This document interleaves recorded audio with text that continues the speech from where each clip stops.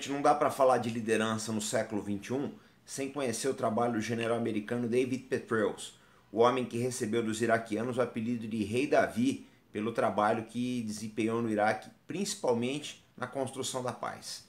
Agora no canal Arte da Guerra. Até!